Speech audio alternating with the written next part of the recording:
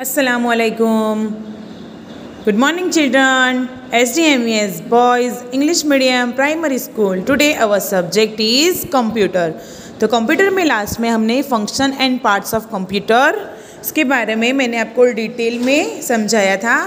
आज हम उसकी एक्सरसाइज करेंगे. So let start fill in the blanks by selecting the correct word from those given in the bracket so start when the computer works on input data according to instru- instructions it is called क्या बोलेंगे उसे हम processing क्या बोलेंगे processing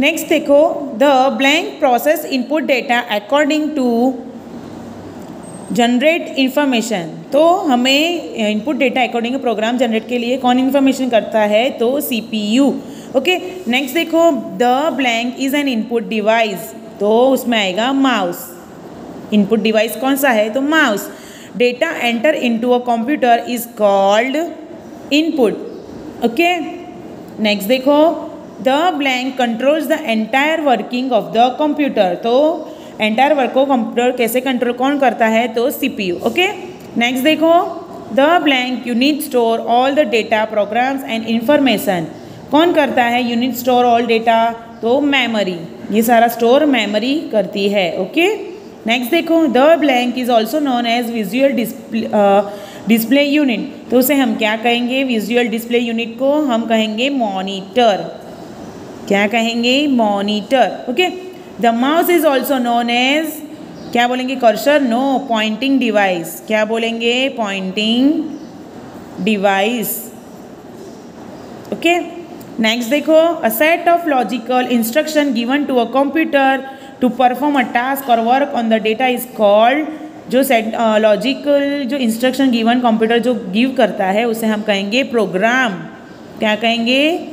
Program the printed copy of the text और picture is called hard copy जो print के through निकलती है, उसे हम कहेंगे हार्ड कॉपी ओके नेक्स्ट देखो। Information generated by processing data is called output क्या बोलेंगे? Output the keyboard is an blank device वो है input device the monitor is an blank device वो है output okay the blank is an output device तो printer क्या होगा इसमें? Printer the blank has more than hundred keys on it तो hundred keys किसके ऊपर होती है? कीबोर्ड पर. तो keyboard the blank has two और थ्री बटन्स ऑन इट मतलब थ्री बट टू और थ्री बटन किस पर होते हैं? माउस पर. Mouse the blank display the output तो डिस्प्ले कौन करता है? मॉनिटर के थ्रू हम देख सकते हैं ना, उसे हम कहेंगे monitor. The copy store by the computer is called soft copy हम बनाते हैं और उसको कंप्यूटर में ही रखते हैं, उसे हम कहेंगे soft copy the blank printer prints at high speed laser जो मैंने लास्ट में आपको समझाया था लेज़र प्रिंटर है, वो फास्ट स्पीड में काम करता है। A blank printer is very noisy and slow dot matrix ये भी मैंने समझाया था आपको। तो ये हमारी हुई ट्वेंटी ब्लैंक्स, जिस जो आपको अपने कंप्यूटर की बुक में लिखनी है, okay?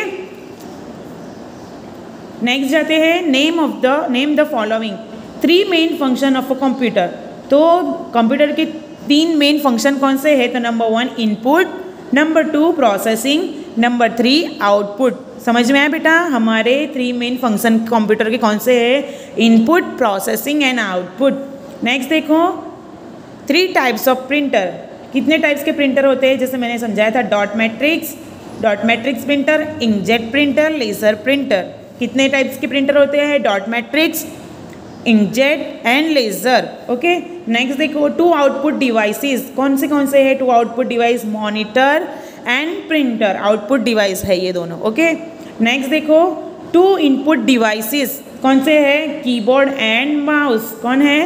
Keyboard and mouse two units in the CPU box कौन है? Processing unit and memory unit कौन से कौन से two units of CPU processing units and memory unit okay तो ये हमारे हैं ट्वेंटी ब्लैंक्स और नेम द फॉलोइंग ये आपको अपनी कंप्यूटर की बुक में लिखना है वन टाइम ओके सो ये आज यहाँ तक ही नेक्स्ट लेक्चर में मैं आपको इसकी एक्सरसाइज दूसरी दूँगी.